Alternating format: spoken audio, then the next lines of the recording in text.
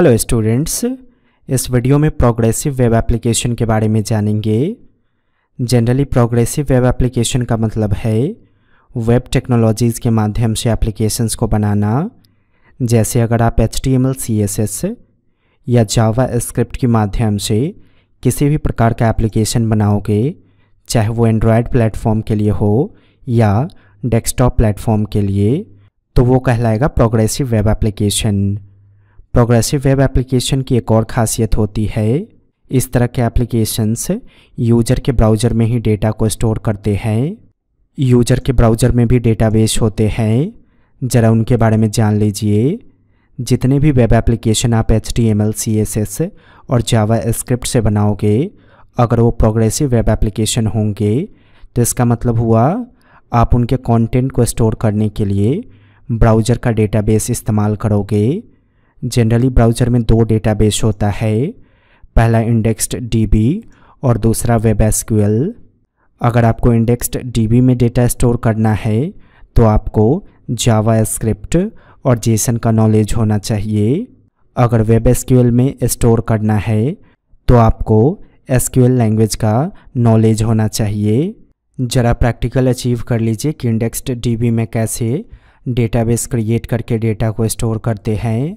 Browser के अंदर से इंडेक्स्ड डीबी डेटाबेस को एक्सेस करने के लिए इंडेक्स्ड डीबी प्रॉपर्टी को एक्सेस करते हैं। अगर इंडेक्स्ड डीबी के अंदर आपको डेटाबेस क्रिएट करनी है तो सिंपली आप इंडेक्स्ड डीबी में ओपन मेथड को पास करोगे और अपने डेटाबेस का नाम डिफ़ाइन कर दोगे। जैसे मैंने डेटाबेस का नाम डिफ़ाइन कर दिया वेब इंस्टीट्यूट इसका मतलब हुआ ब्राउज़र के अंदर जो इंडेक्स्ड डीबी नाम का डेटाबेस है, उसमें इस नाम से डेटाबेस क्रिएट हो जाएगा। अब ये कैसे एग्जामिन करेंगे कि डेटाबेस क्रिएट हुआ या नहीं?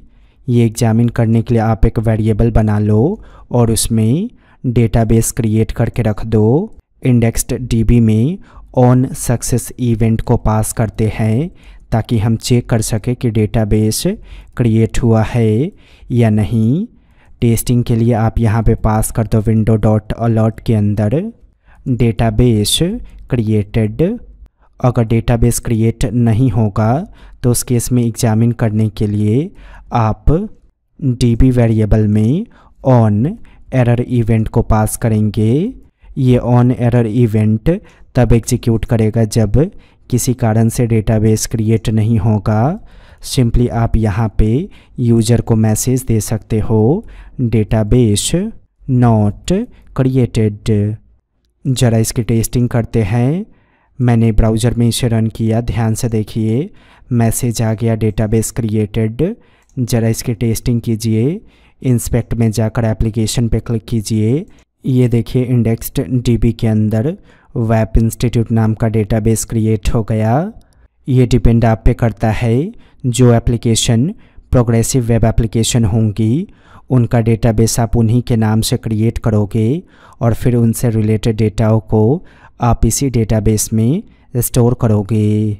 वेब इंस्टीट्यूट की ऑनलाइन सॉफ्टवेयर इंजीनियरिंग क्लासेज में आपको H T M L five के अंतर्गत ब्राउज़र में जितनी भी चीज़ें आप देख रहे हो, जैसे कि manifest service workers clear storage local storage session storage indexed DB web SQL cookies cache storage application cache background fetch background synchronization इनकी प्रॉपर ट्रेनिंग दी जाती है। मैं रिकमेंड करूँगा अगर आप एडवांस्ड डेवलपमेंट के फ़ील्ड में जाना चाहते हो तो एटलीस्ट आप हमारे वेबसाइट पे विज़िट करो और कम से कम आप इस सेलेबस को ऑब्ज़र्व कीजिए।